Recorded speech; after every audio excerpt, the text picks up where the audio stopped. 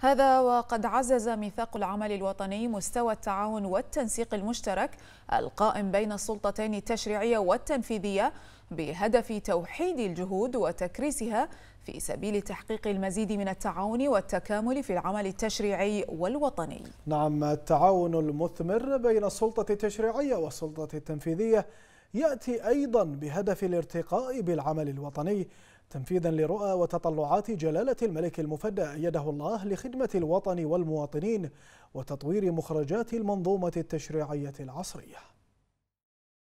متطلعا معكم إلى مرحلة جديدة من العمل الجاد والمثمر ضمن مسيرة النهضة المباركة التي بدأها الآباء نحو وطن المحبة والحرية والرخاء. وفي سياق استمرارية دستورية منتظمة تعمل على ترسيخ تقاليدنا الرصينة التي تتميز بها تجربتنا الوطنية الجديرة بالمستوى الحضاري الرفيع لأهل البحرين الكرام.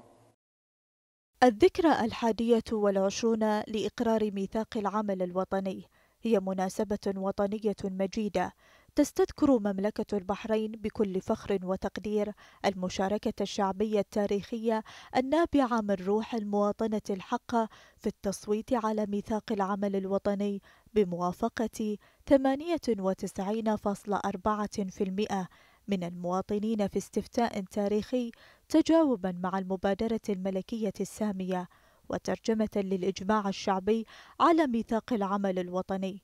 شهدت مملكة البحرين إنجازات ديمقراطية وتنموية وحضارية رائدة مع إقرار التعديلات الدستورية ومن ثم انطلاق الحياة البرلمانية عبر مجلسي الشورى والنواب وإجراء انتخابات نيابية وبلدية حرة ونزيهة وترسيخ العدالة والمساواة في ظل سلطة قضائية نزيهة.